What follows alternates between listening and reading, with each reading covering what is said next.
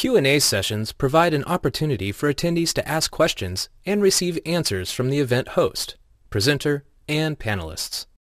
This feature is turned on by default, but the host can manage it by selecting options from the event menu and then enabling or disabling it. The Q&A panel holds questions in a queue, allowing them to be answered in any order without losing the thread of the typed conversation. As the host, you can customize the display of questions and answers by right-clicking and selecting Attendee Options. The Q&A feature is especially useful in large events, where one or more panelists can field questions while others speak and present. Let's take a look at how it works, from the perspective of both the person asking and the one answering a question. Andrew enters a question. He may direct his question to one or more recipients by choosing an individual name or by selecting from the roles in the drop-down list. When he clicks Send, the targeted recipients are notified by the question mark that appears next to his name. Other attendees can't see the question until a public answer is posted. The host, presenter, and panelists have a number of options for dealing with questions. In this case, Andrew sent his question to all panelists, so any of them may select it and post an answer. They also have the option of right-clicking on the question and assigning it to a specific panelist, ranking its priority, indicating that it's been answered verbally, or opening the dialog box for further choices. These options, which can also be accessed by sending a private response, provide standard answers to confidential questions or those considered outside the scope of the event. Panelists can also use the tabs in the Q&A panel to sort and manage questions. All participants see the tab labeled All. Hosts and panelists can right-click to open a specific tab from the list.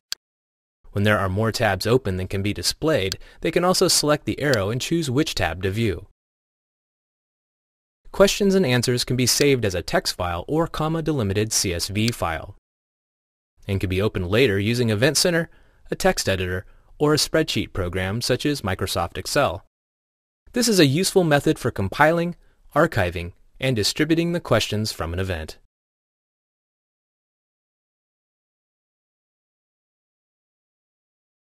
in the Q&A panel to sort and manage questions. All participants see the tab labeled All. Hosts and panelists can right-click to open a specific tab from the list. When there are more tabs open than can be displayed, they can also select the arrow and choose which tab to view. Questions and answers can be saved as a text file or comma-delimited CSV file, and can be opened later using Event Center, Q&A sessions provide an opportunity for attendees to ask questions and receive answers from the event host, presenter, and panelists. This feature is turned on by default but the host can manage it by selecting options from the event menu and then enabling or disabling it.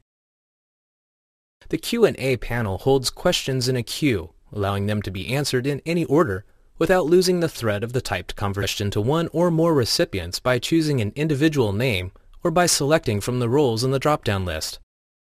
When he clicks Send, the targeted recipients are notified by the question mark that appears next to his name. Other attendees can't see the question until a public answer is posted. The host, presenter, and panelists have a number of options for dealing with questions. In this case, Andrew sent his question to all panelists, so any of them may select it and post an answer. They also have the option of right-clicking on the question and assigning it to a specific panelist, ranking its priority, indicating that it's been answered verbally, or opening the dialog box for further choices. These options, which can also be accessed by sending a private response, provide standard answers to confidential questions or those considered outside the scope of the event. Panelists can also use the tabs conversation. As the host, you can customize the display of questions and answers by right-clicking and selecting Attendee Options. The Q&A feature is especially useful in large events where one or more panelists can field questions while others speak and present.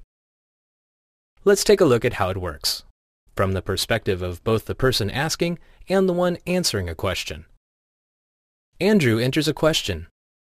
He may direct his question